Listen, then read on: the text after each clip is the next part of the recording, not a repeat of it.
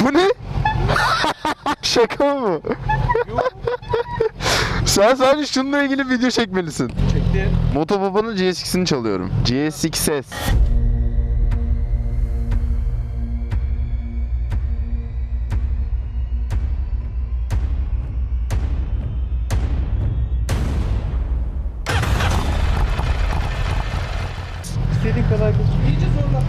GSX-S 1000. Ya işte bizim gençlerin tasarımına çok sarmadı ama K5 motor o. V-Strom'ları falan biliyorum. Intruder'ları kemküm hakim olduğum bir marka. Ama GSX-S ilk kez tecrübe edineceğim bir şey. GSX-R da sürmüştüm. Zaten naked versiyonu. Gel gelelim her motorun farklı sürüş dinamikleri var. Bakalım bu nasılmış. Ne güzel gaz alıyor bu böyle. Benim motoru da ona saldım. Gerçi onun çok çıkası yok ama.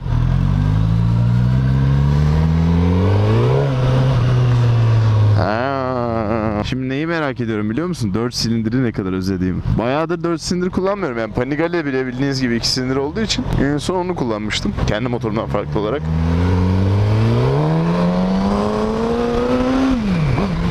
Demek öylesin ya.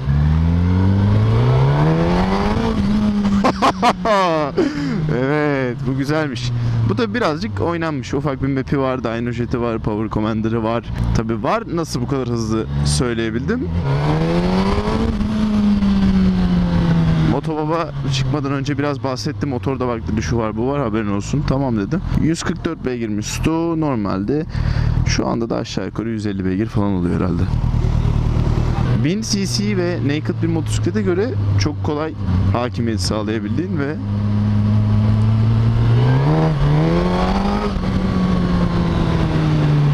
Süspansiyonları da böyle sert kütük gibi falan değil. Ducati bu konuda biliyorsunuz biraz da sert bir marka. Scrambler değil de daha çok diğer modelleri için söylüyorum. Bu böyle tatlı.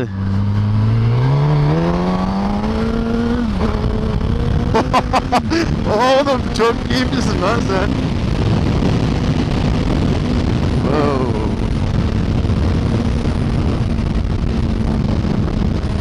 Arkadaşlar bu biraz tehlike arz ediyor gibi.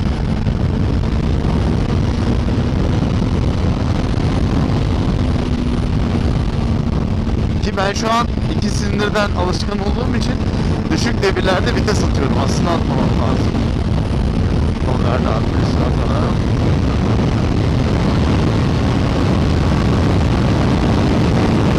Oo sürüyoruz. Bir yol alalım. Bak sen ya. Demek böyle. Hadi siz.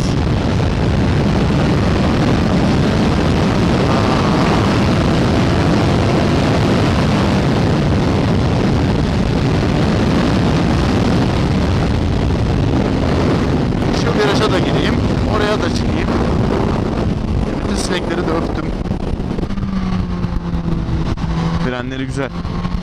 Bir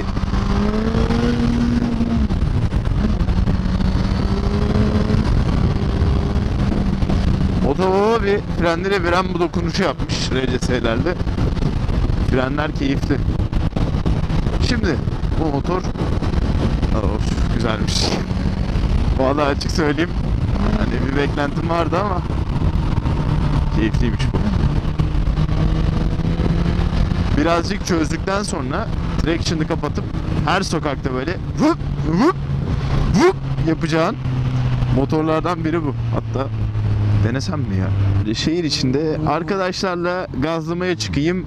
Racingleri de ufak tefek hatta baya baya kovalayayım.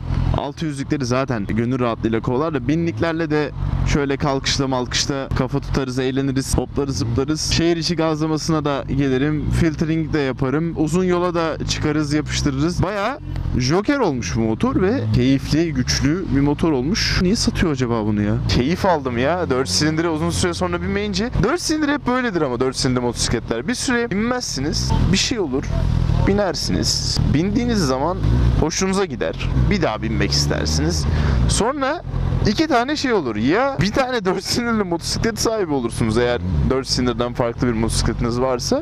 Ya da bir süre daha binmeyip bir süre sonra aynı keyfi bir daha yaşamak için bir süre sonra binersiniz. Inception gibi bir şey yani. 2 silindirin torkundan sonra 4 silindirin debriyaj alışkanlığı çok farklı geliyor. Bunda şimdi bol bol bow bow bow deviri tutman gerekiyor. İkisini de öyle ikisini de çık yapıyorsun hemen yürüyor. Tork, tork güzel. Tork çiçek gibi. Özellikle 4500, 5000 Aa, da da da da da da. Bakalım tractionsız nasılsın?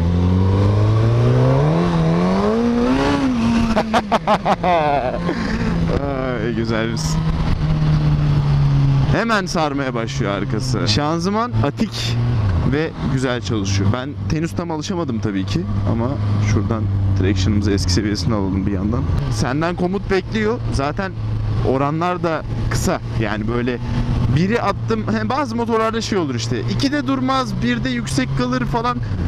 O ne olmayacak. Zaten 4 silindirli motorlarda böyle şeyler az hissedilir. Bunun atikliği de çok keyif veriyor. Motor sürekli gitmek istiyor abi. Sürekli hadi hop hop modunda takılıyor ve sen de gitmek istiyorsun. Bu ses bu performansla beraber. Vallahi ben beğendim GSX S1000'i ya. Torku güzel, şanzıman güzel, beygir yeterli, süspansiyonlar keyifli. Tabi bunu bir süre kullanıp açığı maçı varsa da ya da motobabaya sormak lazım. Acaba neyini beğenmiyor? Yoksa benim kanım ısındı. 4 silindirli motorların en sevdiğim şey de 6. vites alırsın ekonomi moduna. Yani ekonomi modu demeyeyim de seyir modu mu derler ona.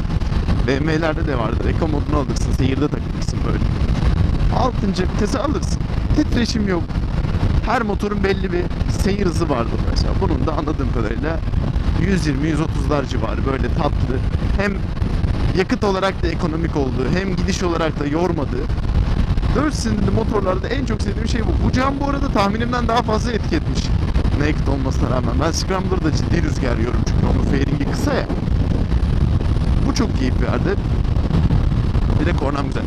Yalnız orijinal egzoza göre de çok keyif veren bir şey var. Suzuki'nin erkek motor huyunu harbiden seviyorum ya.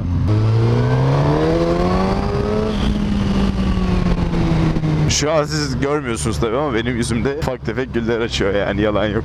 3 seviye traction kontrol, kristal sıvı gösterge. Yakıt ortalama 8.1 yakmışım bu arada bu gazlamaya. Bir herhalde benden önceki veriyi katmadığını düşünüyorum şu anda. 1 2 3 4, 5, 6 kademeli bir benzin göstergesi. Saat göstergemiz var. Şöyle bir hızlı bakarsak hararet göstergemiz var. Kornamız var Şirin.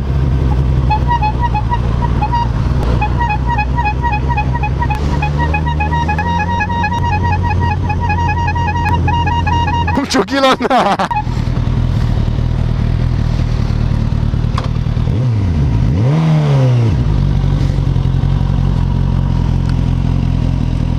Geri mi koysak oraya? Da böyle video oldu. Görüşürüz.